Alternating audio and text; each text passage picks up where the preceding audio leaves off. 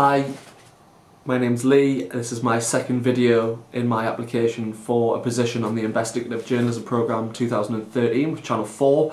This time I'm responding to a question about fearless approaches to a story and I would like to start by saying that I think positioning fearlessness as the buzzword or an underlying principle of investigative journalism is a great shout and I hope my own intrepid approach to storytelling is something that came across in my last video.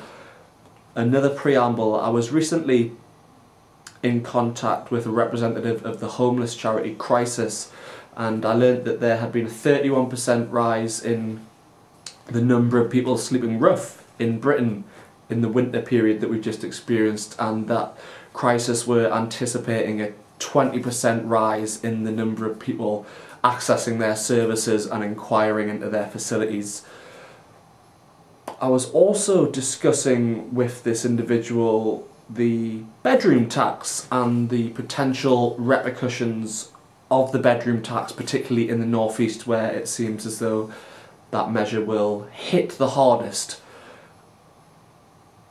For me, it seems as though the issue of homelessness is about to become politically, socially and culturally relevant in the UK, particularly in the northeast. So with that in mind, I am about to go and spend a week being homeless in the West End of Newcastle. I will sleep rough for a week, scrounge for my food, uh, access the services, that other homeless individuals in the West End use. I will interact with as many homeless people as possible and immerse myself in that lifestyle as deeply as I can. Um, I hope that you perceive this to be a, a fearless approach to a story. It certainly feels brave from where I'm sat right now. I'm uh, about to embark upon this documentary tomorrow morning.